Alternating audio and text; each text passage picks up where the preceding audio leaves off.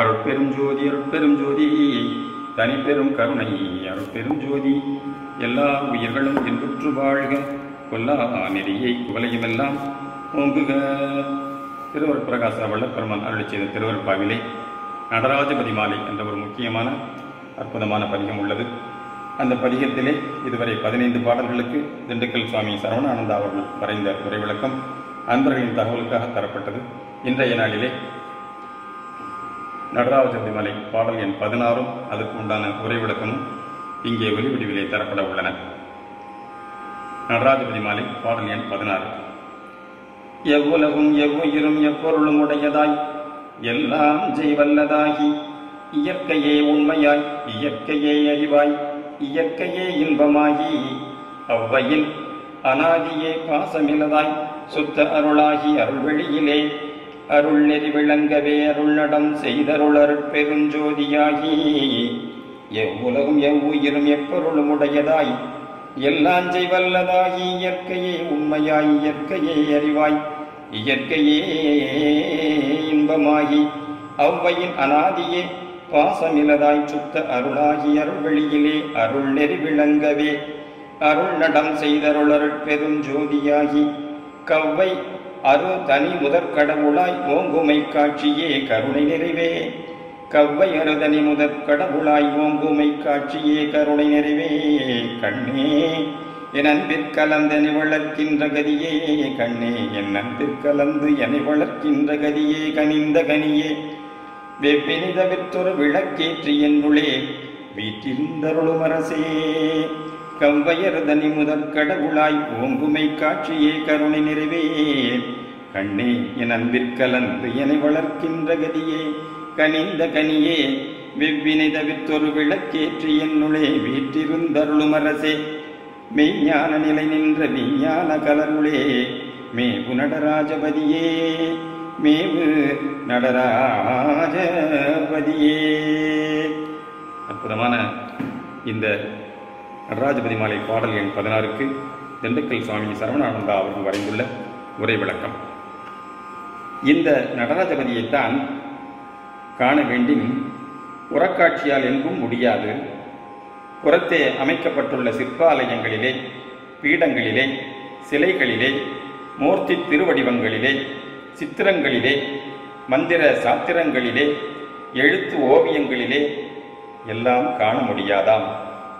பதி உண்மையை தெரிந்து கொள்ளாமலே ஏதோ ஒன்றை கண்டுவிட்டு ஆடலரசையே கண்டுவிட்டதாக ஆடி பாடி ஆர்ப்பாட்டம் செய்கின்றனர் பலர். இவர்களுடைய காட்சியும் அதனால் ஏற்பட்ட ஆனந்த பரவசமும் சீக்கிரமே மறைந்து விடுகின்றனவாம். ஏனெனில் அந்த காட்சியும் மெய்யல்ல அதனால் உண்டான இன்பமும் மெய்யல்லவாம். இன்னும் சிலரோ ஞான சாத்திர விசாரணையாலும் கேள்வியாலும் கடவுள் இம்மதிநிறை மனிதனில் அறியப்படுகின்றவராய் உள்ளார் என்பதை கொண்டு காயமே கோயில் உள்ளமே ஆலயம் உயிர் உடம்பே உத்தமன் உறைவிடம் என்றெல்லாம் கூறிக்கொண்டும் கடவுளை நம்முள்ளேதான் காண வேண்டும் என்று சொல்லிக்கொண்டும் சென்று விடுகின்றனர். இவை அகங்கார கூற்று என குறை கூறும் பக்தர் கூடாம்தான் கடவுள் எங்கும் நிறைந்துள்ளவர் எனினும் ஒரு திருக்கோவிலிலே விக்கிரக வடிவிலேதான் எழுந்தருளி காட்சி கொடுத்து ஆட்கொள்வதாக நம்புகின்றனர். இவைகளின் உண்மையான நம்பிக்கையின் அளவுக்கு சிறிது பயனும் அடைகின்றனராம். இவர்களுடைய நடராஜ தெய்வம் அவ்வளவுதான் அருள் செய்கின்றதாகும். அடுத்த தலைப்பு விஞ்ஞானகலர் பிரளயாகலர் சகலர். உண்மையாக நமது நடராஜபதி பரிபூர்ணமாக எழுந்தருளி காட்சி கொடுக்கின்ற இடம் விஞ்ஞான கலர்களின் திருவுள்ளமாகிய கோவிலாம். இந்த விஞ்ஞான கலர் யார்? இவர்களுக்கும் தற்கால விஞ்ஞானிகளுக்கும் என்ன சம்பந்தம் என்பன சற்று ஆய்வாம். இந்த விஞ்ஞான கலர் மெய்ஞானம் பெற்றுள்ள ஆன்மாக்கள் ஆவர். கலர் என்றால் மனிதனாகிய ஆன்மா. இங்கு ஞானத்திற்கு முன் வந்த வி சிறந்த அருள் அறிவில் அறிவின் சேர்க்கை உடைமையை தெரிவிப்பதால் இவர்கள் மெய்ஞான சகிதர் என்று கூறப்படுவர். ஆனால் இப்பொழுதைய விஞ்ஞானியற்கு மெய்யருள் ஞானம் இல்லாததால் வி இன்மை பொருள் தந்து நிற்கின்றதாம். அந்த மெய்ஞானம் இல்லாதவர்கள் இவர்கள் என்பது கருத்து. ஆனால் இப்பொழுது புலனின்ப வாழ்வை பிரதானமாகவும் அதற்காம் புலபோக அறிவே சிறந்ததாகவும் கொள்கின்றவர்கள் இந்த விஞ்ஞானிகளை மேலான அறிவுடையவர்கள் என்றே கொள்ளுவர். ஆகவே இந்த விஞ்ஞானிக்கும் அந்த விஞ்ஞான கலருக்கும் சம்பந்தமில்லை என்க. இனி விஞ்ஞான கலரின் மெய்ஞான நிலையை நோக்குவாம்.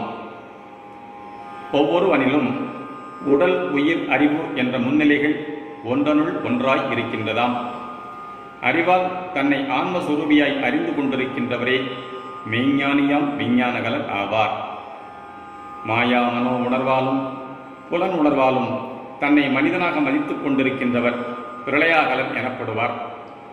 இதற்கு மேல் கண்ம தேகத்தையே தானாகவும் விலங்கியல் வாழ்வை லட்சியமாகவும் கொண்டிருக்கின்றோர் சகலர் எனப்படுவார்கள். தன்னை ஆன்மாவாக கண்டிருக்கின்ற விஞ்ஞானகலன் தன்னில் மறைந்து கிடக்கும் கடவுள் உண்மையை அறிகின்றான். அறிந்தும் தான் கடவுள் மயமாக வாழாது உள்ளான். ஏனெனில் கடவுள் அருள் அனுபவம் வெளிப்பட்டு தான் ஆன்மா என்ற ஆன்ம போதத்தை மாற்றித்தான் கடவுள் என்ற அனுபவத்தை வாழ்வில் பெறப்பட வேண்டியிருக்கின்றதாம். இந்த ஆன்ம போதம்தான் ஆணவ மலம் எனப்படும். ஆகவே விஞ்ஞானகலருக்கு ஆணவ மலம் ஒழியவும் கடவுள் நலம் விளையவும் அருள் அனுபவம் எல்லாம் வருவிக்கப்படுகின்றனவாம். இவ்வுண்மையைத்தான் தன்னில் கண்டு இந்த நடராஜபதி மாலை புனைந்துள்ளார் இந்த பதி வெய்ய வினைகளை தீர்த்து உள்ளத்திலே மெய்ஞான தீபத்தை ஏற்றி வைத்துள்ளாராம். அந்த தீபமங்கல ஜோதியிலே எழுந்தருளி தன் அருள் ஆட்சியை புரிகின்றாராம் இந்த நடராஜர் இந்த அருட்பெரும் பதியின் அருளாட்சியின் மாண்பும் பயனுமே முன் அடிகளில் குறிக்கப்பட்டுள்ளனவாம் அருள் அரசு என்ற தலைப்பு. இந்த அருள் அரசுக்கு எவ்வுலகும் எவ்வுயிரும் எப்பொருளும் சொந்தமாம். இவர் எல்லாம் செய்ய வல்லவராம். சச்சிதானந்தம் என்னும் மெய்யறிவின்பம்தான் இவருக்கு இயற்கையாம். இப்படி உள்ள இவர் நின்மலராய் அனாதியாய் அருள் செய்து கொண்டிருக்கின்றவராம். இவரையேதான் இங்கு அருள் நடனம் புரிகின்ற பதி எனவும் அருட்பெரும் ஜோதி எனவும் போற்றிக் கொள்ளுகின்றாராம்.